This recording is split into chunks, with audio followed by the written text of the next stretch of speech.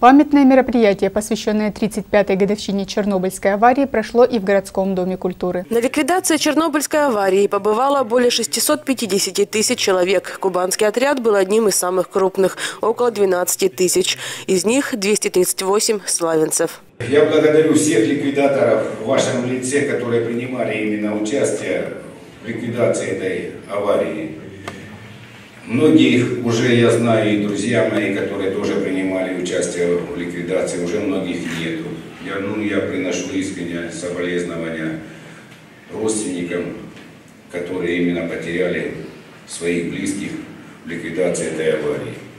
И мне хочется, чтобы вам сказать, чтобы действительно такой аварии больше не было. Председатель Славянской районной организации «Союза Чернобыль» Василий Боровиков в зоне Чернобыльской аварии прослужил около пяти месяцев. Это было трудное время не только физически. Приходилось много работать, но и морально. Пустой город, брошенные села и невидимая смертельная радиация вокруг. Давайте вспомним станции, где ребята работали, минуты. У нас есть такие, кто на крыше сгребал эту радиацию. Там работали секунды. Вспомним город опустошен, пустой город загороженный, где видно, что все брошено в спешке. Конечно, когда видишь то, что ожидаешь видеть, оно не так остро воспринимается. Но тем не менее, конечно, картина очень даже страшная, может, можно так сказать. От нашего района было 230, по моим данным, 237, ну это не важно. Из них на сегодня 136 не дожили до сегодняшнего дня.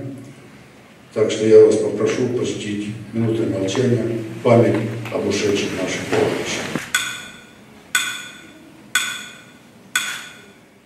В знак памятной даты были учреждены медали. Юбилейные награды ликвидаторам аварии вручили глава города Александр Берсенев и председатель Славянской районной организации Союза Чернобыль Василий Боровиков. Ганыч Василий Иванович.